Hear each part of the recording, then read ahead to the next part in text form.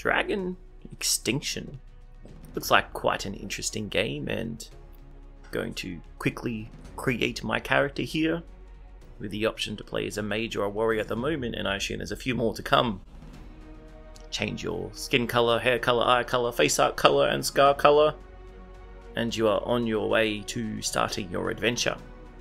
As I load in here, let me know how you are finding Dragon Extinction. If you like this kind of game and would like me to play a little bit more, I would appreciate being told. Welcome to Dragon Extinction. Open your inventory by pressing tab. That is something that I should be able to do. There we go. You get two attribute points when you level up. Spend them now. Okay. Power and vitality are always my go-to. You get one skill point when you level up. Select skills and spend the point. Leaping Strike with level 5. We have Frenzy and we have a Dash. A pointing dash. Tutorial board on the right wants me to assign skill. And do that by dragging down. Okay, that makes sense. So, one of the things that I will learn throughout this time is that pressing escape is not an optimal way to get back to the main screen.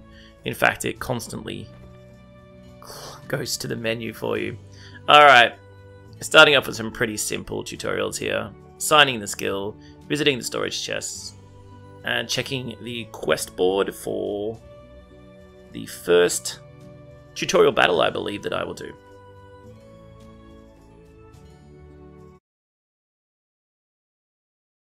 You can lock onto the target by pressing F. Creates a little X on the character that you are locking on. You can guard by holding mouse 2. Okay, I got a bit of a shield here. You can dodge by pressing Q. Nice little dodge roll, and the quest is complete. I must say that perhaps is the easiest quest that I have completed in any RPG game ever.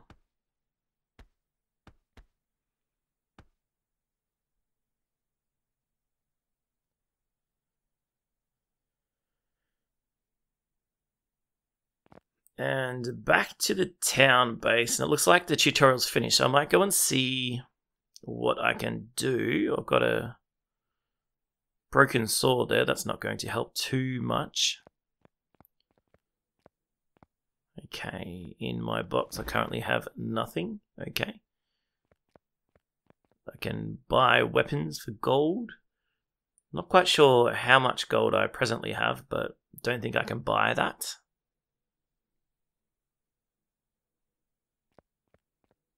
Buy potions, buy armor, buy jewelry. There you go. I get to look quite fabulous whilst fighting dragons and other things.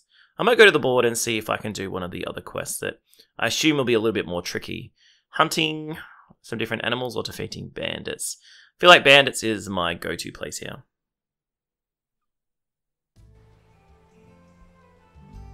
It's a very pretty world, isn't it, looking around? I can loot this box and get some kind of potions, I believe. Don't have any uh, abilities yet that I think take mana, but defeating 10 bandits, so I'm just going to take out these guys that have some interesting AI at the moment. They, Some of them turning their back on me and not really all that interested in me, and others that are charging me, that's good.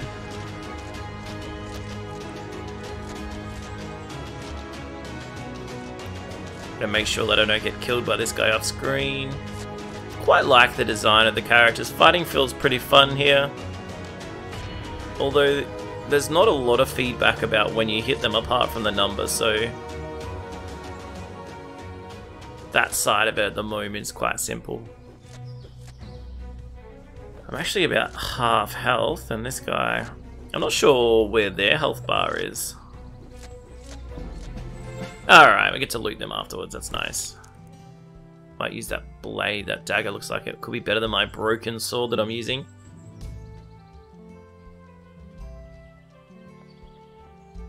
And we have a bone. I wonder what I'm supposed to do with a bone. Crazy bandits just walking around with bones in their bag. Or perhaps that's a bandit bone that I got. See, this bandit here just sort of sits there and waits for me to stab him. And I must say, this knife is not feeling all that intuitive to attack. I feel like I'm missing most of my attacks here. It might just be that you don't know when you hit them sometimes. You're feeling like your attack should be knocking them back or something like that. Might get this bit of this, this hammer here and see how that goes. Feels a bit nicer. Alright, 4 out of 10 bandits. We'll take that. It's a good start. Got a broken sword. It's probably why I won that battle, to be honest. Uh, feel like a broken sword is not the best weapon. Mine, okay. Looks like I mine using my shield. I don't know how that is possible, but let's go with that. Nice little environment around. Nice and bright. Quite colourful. Very familiar kind of playstyle to this game. 81 damage, that's not too bad. It's like the weapons are rolling for the same damage each time. 81, 81. So it doesn't seem like there's any damage rolling or anything like that. We'll loot this sword. Oh, old mate over here is just kind of uh, chilling. He's just seen his mate get murdered, but classic bandit doesn't really care. Wait a second, there is a, wolf that wants to get involved, okay. I don't know if the wolves and the bandits are in cahoots, but didn't do too much damage there. Bit low on health at the moment actually, but looks like my health regenerates over time, so that might be a handy thing that you can, I guess, if you were in dire straits, that you can wait around for a little bit and just make the level go a bit longer. Four more bandits to go.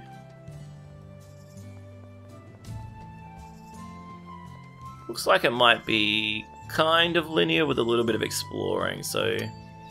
Although this is one of the early easy levels, so perhaps when I get to those later levels, let me know again if you want to actually see me play those later levels. There will be a bit more exploring and trying to work out. Got three bandits here to fight, two are just happily waiting over there. Talking to each other, wondering, did you hear anything there, Jared? No. We'll reach level 3, that's nice. Put a point in endurance here. I feel like I might need some endurance at some point. And power. Don't think I'd use Frenzy yet, so I might, uh, there we go, we'll use Frenzy and try and get the attack speed. Alright, for some reason, this deer creature has decided that they don't like me, and they've got involved in the fight as well. That's okay. We'll take care of them. We've got wolves, we've got bandits, we've got some kind of reindeer-like creatures. We'll take them all on. Feels a bit awkward when you're trying to run away and then turn back around. It might be a camera issue. Is that a raccoon in the background? Okay. Might be uh, the same world when I do that hunting level. I'll do that one next. I feel like this might be the same screen. 50, 54. I feel like it's not doing too much damage. Getting a lot of loot out of this, so at some point I probably need to go and sell or choose what I'm going to keep. Oh, there's the last bandit. Did he? Was he there before? Can't recall him being there. He's got a pickaxe to try and take us out.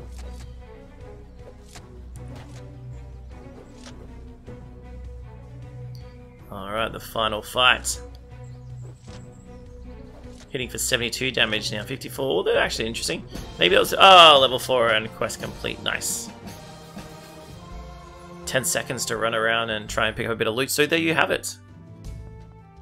What do you think of this game? Let me know in the comments below. I will definitely keep playing, but whether or not I upload footage or gameplay and commentary will be dependent on you.